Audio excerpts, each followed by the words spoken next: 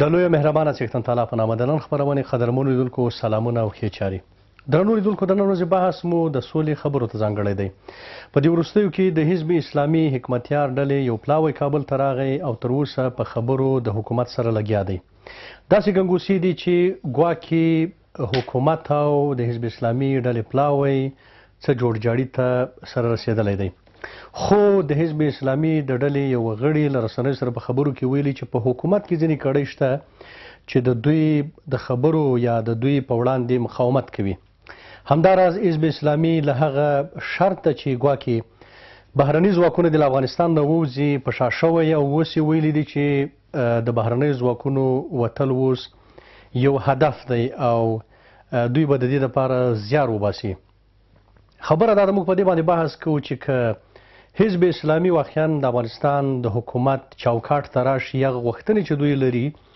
هیا حکومت په هغه موقف کې دی چې وري کې ایا که حزب اسلامي راشي نو هغه مقاومت چې اوس وسله وال موجود دی په هغې کې به څه کمښت راشي؟ په همدې باندې بحث کوو راسره درانه مېلمانه د پوهنتون استاد ښاغلی عبدالناصر شفیق او د چارو شنونکی ښاغلی فضل مین الله ممتاز دواړه ستړي مه شئ شفیق صاحب یو مهمه خبره چې دا اوس رابرسېره شوې ده حزب اسلامي د خپل هغه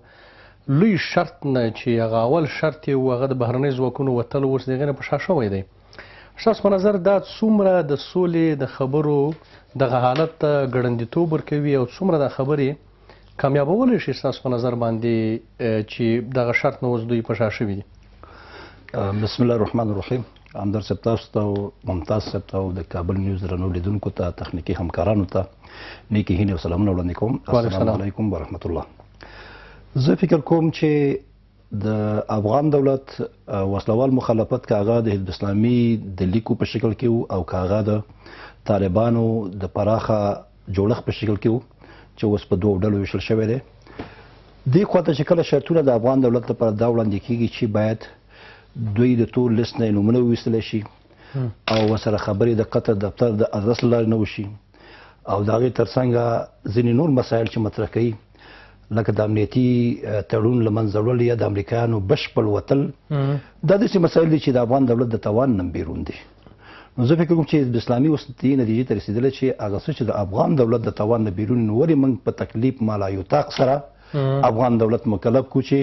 که دا ونه شي نو موږ یعنی سولې مذاکرات ته نه راځنګو دا یو ښه قدم دی چې حکمتیار صاحب وجد کړی دی او د حزب اسلامي کوم پلاوی چې راغلی دی او د سولې د شورا د پلاوی سره چې کوم مذاکرات کړي او هغه هم تقریبا یو نسبي نتیجې ته رسیدلي دي او د کرختیا هم جناب شفیق صاحب تاسو بریالیتوب ګورئ انعطاف پذیری ګورئ که دا ناکامي بولئ چې په څوارلسو کالو کې د یو موقف او اوس هغه حالت دلته تغیر نه دی کړی خو د دې موقف تغییر کوي دا کامیابی ده که ناکامي یعنی اصلا دا چې حزب اسلامي د ځان لپاره مخکې کوم شرطونه یې خي او هغه شرطونو باندې د پابند پاتې شي دا یو موضوع ده او دا چې د افغان ولس د سولې یو ورکه چې د افغان ولس اړتیا ده او هغه رامنځته کېدل دا ایجابوي چې یو سړی لږ سازش وکړي یا لږ تنازل وکړي دا بل اړتیا ده دا د ولس اړتیا ده نو زه فکر کوم چې اسلامي د خپل ګوندي اړتیا په ځای باندې د ولس اړتیا ته چې تجاوب وکړي دا ښه خبره ده او د دې نه رسو یعنی فکر کوي اوس حزب اسلامي په نظامی ډګر کې دومره حضور لري چې راتګ به د سولې خبرو ته یا د حکومت سره ځای کول به هغه جنگي ماشين چې اوس په افغانستان کې چالان دی ایغه ته به یو څه کمښت وروبخي یعنی جنگ به یو څه کم شي دې کې شک نشته چې حزب اسلامي په دې شرایطو کې سولې ته تن کېږدي او سولې ته نتیجې ته ورسیږي نو تر څو چې وسلوالو مخالفینو بل ډله چې طالبان دي او د هغوی په نظامی ډګر کې حضور د حزب اسلامي په پرتله باندې پیاوړی او غوښن دی سمدوار به سوله لاسته رانشي خو لیکن د سولې لپاره به یوه لاره پرانیستل شي یو ګام هغوی به هم د دینه په الهام اخیستنې سره چی داسلامی مثلا دغسی یو قربانی ورکوی یا نور د دولت دخیل لوری دا قربانی ورکی دا هم مهمه خبره ده ځکه افغان ولس به تر څو داسلامی شرطونو ته یا د طالبانو شرطونو ته ګوری چی ددوی شرطونه متحقق شی او افغان ولس به په دی جګړه کی سوځی نو که یوی خونه افغان ولس له طالبانو داسلامی نه مثلا تنازل غواړی په همدی ترتیب باندی په دولت کی دخیل لورونه هم تنازل غواړی هغه خلقې هغه کړۍ چې هغوی د اسلامي حضور دلته د ځان لپاره د تنګېدو لامل ګڼي یا د خپلې برخې د کمېدو لامل ګڼي زه فکر کوم چې هغوی به په دې کې بایلي ځکه چې افغان ولس نور د طالب او د د محاکم نظام ترمنځ دل ول کیږي او په حقیقت کې دوی نور د ملت به یو بل لار پیدا کیږي نو هر هغه څوک چې د ملت د غوښتنو په لار باندې روان شو ملت به پاینده کې د هغه وسی ډیره مننه ښاغلی ممتاز د حزب اسلامي د ایحات یو غړي ویلي دي چې په حکومت کې ځینې کړۍ دي چې د دوی سره مخالفت کوي په خبرو کې تاسو د دې مسلې نه آګاه یاست او که معلومات لرئ دا کومې کړۍ دي کوم اشخاص دي بسم الله الرحمن الرحیم و به نستعین سلام به بندگان عزیز و خدمت مهمان علی قدر جناب استاد عبدالناصر شفیق و شما ببینین یک موضوع بسیار روشن آگاه بوده باشه ما اگر واقعا نیت حسنه می داشته باشیم نیت نیک می داشتیم وطن دوستی می داشته باشیم همچنان مسئولیت خدا در قبال خدا و در قبال مردم ادا میکنیم. یک مسئله تاریخی است که وقتی حرف از صلح می زنم میشه ما نیاز به صلح با بیشتر از آب و هوا من صلح داریم و دیگر نمیخوایم مردم که چی شود موضوع بیشتر شود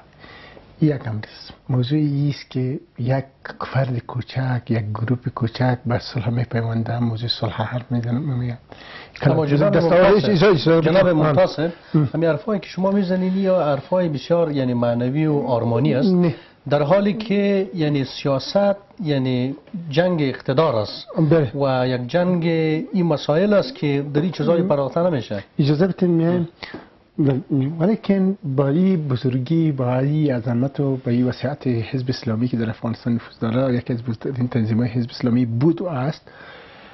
بنا ان یک قدم نیک است اما در موضوع موانع من خدمت شما از کنم بسیار واضح سریع بگویم که در قسمت موانع بسیاری از افراد است یک امر طبیعی است کنم امر شاز استثنایی نیست بسیاری از جهت است که میگه شر بخزه که خیر ما باشد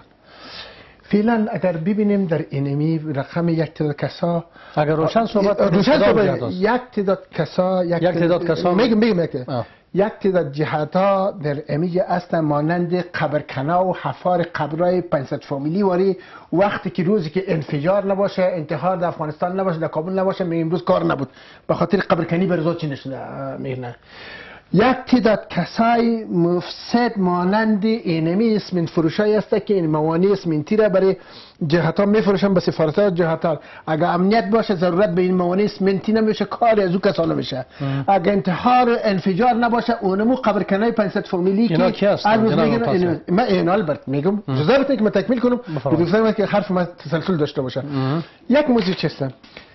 حزب اسلامی افغانستان از خود خیلی زیاد عریفه و لقیبای سیاسی عقیدتی ایدئولوژی فعلا در افغانستان داره یک باید بگویم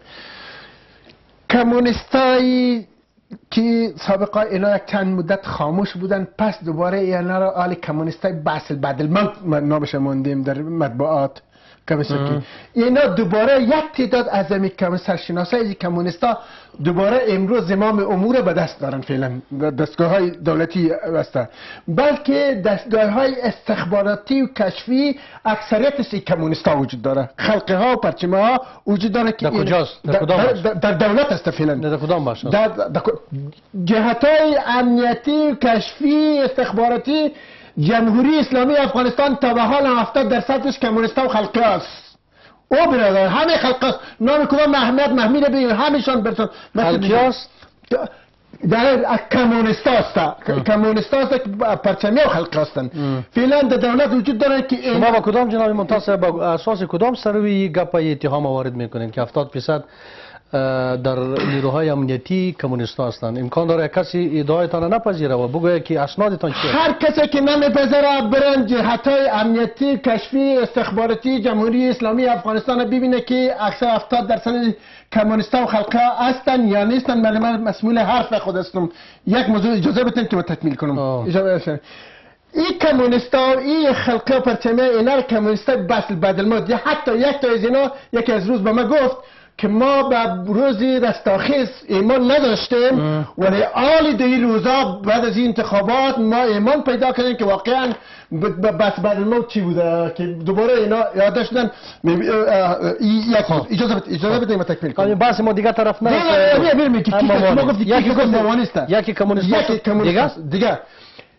سیکولرها و اف... چیست سیکولرها غربی های افغانه قرار... قراردادی که دوباره از امریکا و از غرب اینا مستوطن شدن به افغانستان و قرارداد قرارداد آرید افغانستان شدن و وطن اصلیشان در اوج هستند اینا که به انجیل تحلیف ادا کردن در اوجه به خاطر حاصل کردن نشنالیتی و تابعیت افغانی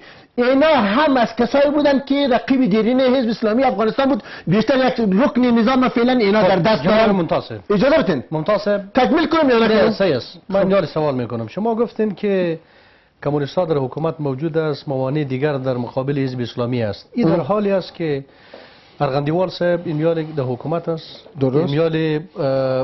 انجینر صاحب محمد خان خودش ده حکومت یک پوست بسیار بلند در حکومت کار میکنه و دیگه والیا است وزرا است از اسلامی از نمایندگی میکنه بله مشاورا است بله در این حالت فکر نمیکنین که خود علمی حزب اسلامی در اینجا مخصر است ببینین یک مشکل اساسی است حزب اسلامی شخص نیست فرد نیست حزب اسلامی امت است امت است بنابر این ان شما تقاضایتان تقاضای دیگه مردم است که هیچ فرد حزب اسلامی در حکومت نباشه کافی نیست در این 20 چند سال حزب اسلامی بندی شد به بگرام به گنتانامو بعد زندان افغانستان همه شما اتهام وارد میکنین اتهام به خودتان وارد میشه دیگه یعنی مثلا اگر کس اتهام وارد میکنه که حزب اسلامی مثلا یا در حکومت مخالفینشان است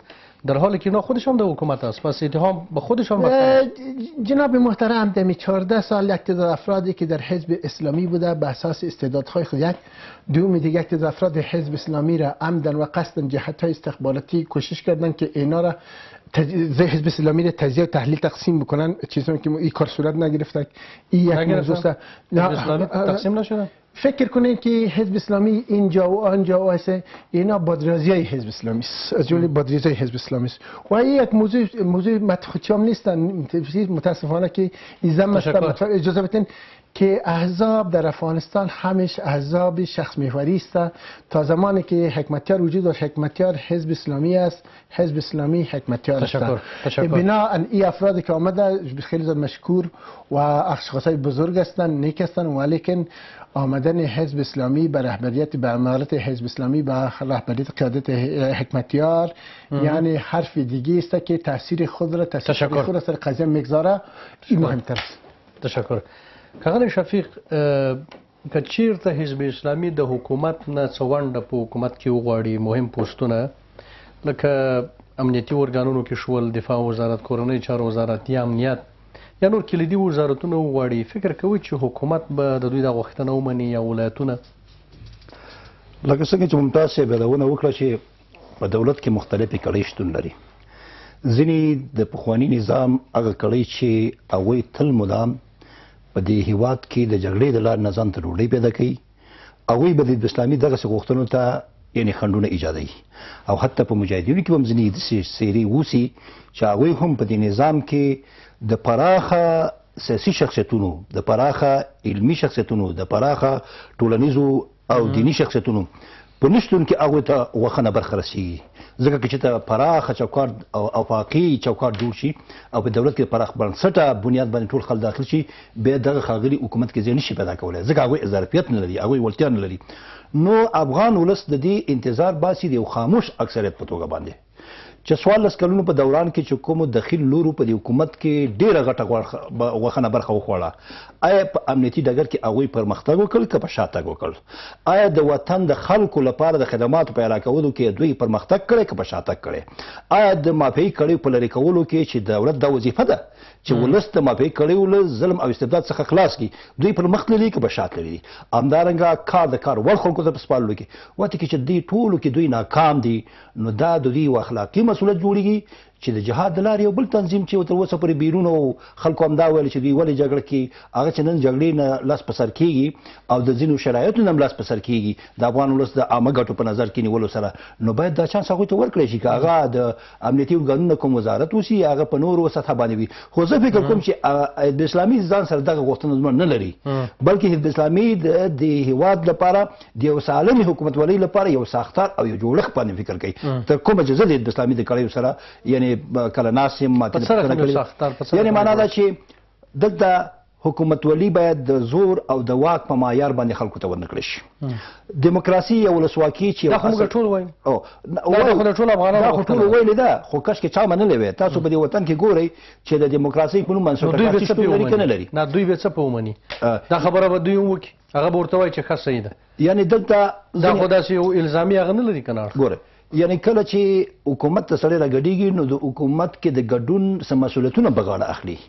څه جوابدهي هم په غاړه لي، نو چې ته په یو حکومت کې شریک نه اوسې، ته اختیار ونه لرې، نو بیا ولې په ځان باندې هسې ملامتیا راچوې؟ نو په دې خاطر باندې اسلامي دې ته اړتیا لري، خو زه فکر کوم اولویت به دا وي چې د افغانستان د رښتونې خپلواکۍ لپاره یعنی نوره د د دغه جګړې هغه هغه پراختیا نوره ختمه شي ښه شفیق صاحب ډېره مهمه خبره اوس که چیرته حکومت ورته یو څو کلیدي پوسټونه په نظر کې حزب اسلامي ته و هم نیسي او هغوی راشي خپل د دې مخالفت نه سر په تیر شي فکر کوي چې دا ورته مهمه ده که نه هغه تاریخ ته په کتلو سره لکه څنګه چې ممتاز صاحب وویل چې په افغانستان کې یو ډیر اوږ تاریخ نسبت اسلامي لري د افغانستان په ټولو ولایتونو کې نفوذ لري اوس هم ډیر برجسته خلک لري هم دغه طرف ته خلک لري هم دغه طرف ته خلک لري یعنی فکر کوي چې اوس حکومت تر اګړ شي په یو ائتلافي شکل په خپل چې د حکومت دغه سره رامسته شوی دی او دغه حکومت تم ځینې ستونزې متوجي دي او مشکلات پکې شته دغه خلاره ده کنه دلته د سولې د خبرو له لارې د پروسې د لارې راشي، دفترونه خلاص کړي، راتلونکي پارلماني انتخابات دي، راتلونکي د ولسمشرۍ انتخابات دي، د هغې لپاره یو اوږد کار په نظر کې واچوي، فکر کوئ چې همدغه د وزارتونو د ولایتونو نیول په دې اوسنیو حکومت کې به دا د دوی هغه تاریخ ته نور روښانتیا ورکړي که نه د دې نه تیر شي او سیاسي مبارزې ته راشي ما چې مخکې ویل چې د اسلامي سره د پوستونو یا د چوکیو شاید دا موضوع ډېره مهمه نه اوسي بلکې حزب اسلامي چې فعلا د سولې د شورا سره خبره پر مخ بیایي نو معنا دا ده چې د یو پراخې سولې د بنیاد د لارې نه دوی د آینده د نظام هغه یعنی اساسي ټکي وټاکي چې د ټولو مخالفینو سره د مذاکرې دروازه خلاصه شي هغه موانع چې د مخالفینو سره د مذاکرې په وړاندې باندې شتون لري هغه کې هم حزب اسلامي رول ولري هم د داخل لوري په افغان دولت کې او که ځینې د بهرنیو قوتونو مربوط وسی هغه ته هم یعنې پیغام ورسولی شي زه فکر کوم چې اسلامي فلم په دې توان کې فعلا په دې علاقمندۍ کې نه دی چې هغوی د فلم دا څوکۍ وړي ځکه دا نظام زما په عقیده باندې بلکې د هر افغان په عقیده باندې دا یو شړېدلی نظام دی او دې نظام کې په دې اخره پټلۍ کې کېناستل هسې ځان د تورونو د بار لاندې راوستل ځکه په کار نه دي چې دا نظام په تمامه معنا باندې د اداري فساد له مخې د د د پاکې واکمنۍ د نه تطبیق له امله د د ملي حاکمیت د نشټ د نه تنفیذ له امله د ډېر یعنی ستونزې دي ډېر سوري دي دا چې جوړې نشي خو دا جوړېده په دې نه کېږي چې د ټوپک پشپېلې وشي دلته د سولې د لارې نه د یو پراخه بنسټ د پراخه ساختار پر رابطه باندې د تګلارو په مشخص کولو سره ابن اسلامي په دې باور باندې باندې فکر کوم مذاکرات ته راغلی دی او په دې لړ کې که څوک موانع ایجادوي نو زه داسې فکر کوم زه د هیڅ یو تنظیم طرفداري نه کوم ځینې خلک دا هم وایي چې ابن اسلامي ګویا هغه توان نه لري کوم چې پخوا نه درلود دا واقعیت چې هغه توان نه لري خو زه په دې مخکې یم چې دا دخیل لوري چې تر اوسه په دې حکومت کې وو دوی ټولو په ګډه باندې دا حکومت وشرمولو دلته یې ولسواکي وشرموله، دلته یې واکمني وشرموله، دلته یې ارزښتونه بایلل، دلته یې د امریکا سره داسې په امنیتي تړون امضا کړ چې زموږ دین ته یې خطر رسولی ده په حقیقت کې. نو وخت کې چې دوی نه شي کولی، ولې په شریکه نور د دې پراخ سینې د لارې، د سینې د پراخوالي د لارې نه، د یو بل د زغملو د لارې نه، یو بل ته د ایثار د لارې نه، په شریکه سره لاس ور نه کړو نور د افغان وژنې دا بهیر نور ختم کو نو زه فکر کوم چې دلته افغان ولس چې کوم خاموش اکثریت چې اوس پر چپ ناس دی هغه د دواړو نه امتحان اخلي او بیا به هغه وخت راشي چې ځینې خاغلی چې په جګړه کې خپل ګټې ویني ولس به په یو خو روان وي او به ځان له ملي شخصیت پیدا کوي ملي قائد پیدا کوي او دوی به به هغه موقف نیسي چې کوم حزب اسلامي یا طالبان پیدا نیسي ډیره مننه خغلی ممتاز تاسو مخکې ویل چې حزب اسلامي معنی حکمتیار او حکمتیار معنا حزب اسلامي حقیقت امرس او دا خو تاسو نظر د تاسو خبره ده پر صورت اوس په دې خبره باندې خبره کو په تیرو څوار لسو کلونو کې حکمتیار نه وو هغه ګلبدین حکمتیار نه ولیکن د حزب اسلامي په نامه باندې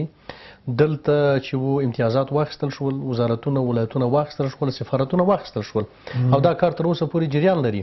نو که چیرته تاسو معنا دا وي چې حزب اسلامي معنا حکمتیار او حکمتیار معنا حزب اسلامي نو بیا دا ونډه کوم خاطر باندې ورکړل شوله دا ونډه یا دا امتیاز چې حزب اسلامي ته ورکړل شوی دی خو د حکمتیار صاحب د توقع خلاف ورکړل شوی دی خب ببینید سوال تن جمعه کنه اعضا چی یک موضوع اگه اجازه بتین مرا که من اولی که آنزان جایی که ما معلومات دارم یا طرحی را دیدیم طرحی که تقدیم شده 11 ماه قبل موضوع بوده مذاکرات آغاز شده و دو طرح مسئله وزارت مسئولیت قضایی این مسائلی که روی مطبوعات صحبت میکنه یک افترا است وجود نداره قطعا یک موضوع و این طرح 11 ماه قبل به کامرون و اوباما تقدیم شده بود کاکای بزرگ بین قوسین کاکای بزرگ تا وقتی که اونا اشاره نمیدادن هیچ وقتی مذاکرات آغاز نمیشد یک خط درست بینه اونا موافقه کردن به این طرح پروگرام آغاز شد ولی وام چی گفتن چی میگن هر وقتی که اونا میاین روی موضوع اتکا میکنن چرا اتکا میکنن میگه این نظام توسط بی 52 ما قائم کردیم آوردیم برتان کی میگن کاکای بزرگ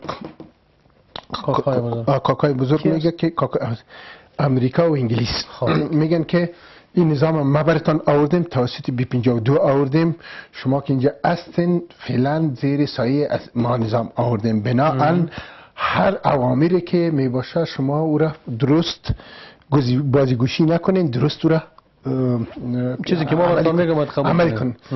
کسی که فرم... نان میته فرمان میته این موضوع وزیسته این کاملا وزیست آل فعلا آمدن حزب اسلامی پیوستن حزب اسلامی به صلح مانند فصل بهار تابستان زمستان خزان است اگر ما چی را در روی ازو بگیریم پرده را در روی ازو بگیریم اگر بخوایم که اینجا برف پاش بتیم خاک پاش بتیم جلوی بهار زمستان تابستان گرفته نمیتونیم به خاطر ازی که آل نه آل جناب ممتاز صاحب گپایتان یک چیز بسیار مهم بود شما گفتین که کاکاها میگن که کسی کنار میته فرمان میته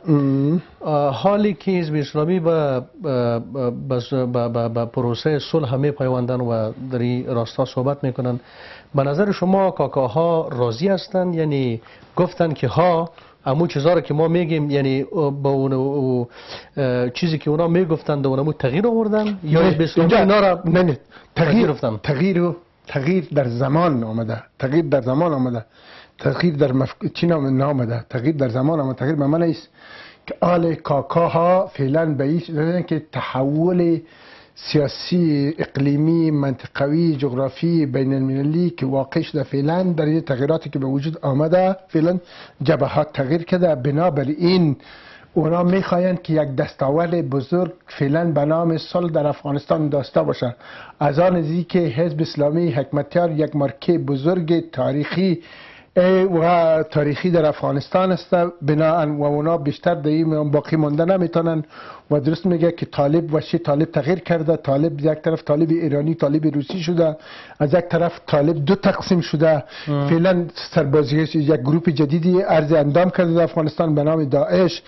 همین تحولاتی که در واقع شده صورت گرفته بنا این تحولات وقدار اجبار ساخته و به دیگران قناعت فراهم ساخته تا که وجود حزب اسلامی را بپذیرند درست است بپذیرند دیگر اینا احساس کردن که بیشتر اما جناب ممتاز یک شرط بسیار بزرگ حزب اسلامی که بود خروج نیروهای خارجی بود بله صاحب امو شرط خو کاکاها نپذیرفته و بالاخره حزب اسلامی پذیرفته که سعی از شما میجا بانین این هدف ما است ما مبارزه میکنیم در این راستا پس در اینجا معلوم شد که کاکاها چیزی را نپذیرفتن بلکه حزب اسلامی اجازه بتین اجازه بتین مسئله قوت مزی خارجی و غیر خارجی مطرح بودنش از چند ناحیه چی بود اول ای که کنفرانس شومی بون که طرح شد یک روز دیگه هم در زمین میز گفتم طرح شد اصلا هنمی افغانای قراردادی که وجود داشت اینا عمدن قصدن یک تعداد گروه ها را اینا نخواستن جمله حزب اسلامی طالبا را که ما به مشکلات چکن آلی غرب به متوجه خود متوجه شد موضوع دیگه شه قوا حزب اسلامی یک توجیه ضعیف میکنه که ما قناعت ندارم توجیه ضعیف میکنه در قسمت قوایت های بیرونی میگن آن چیزی که ما سابق تقدیم کردم که خروج نیروهای خارجی بود 90 درصد نیروهای خارجی از افغانستان بیرون شدن بیرون شدن 10 درصد مانده این موضوع وقت است و زمان است و این هدف ماست که باید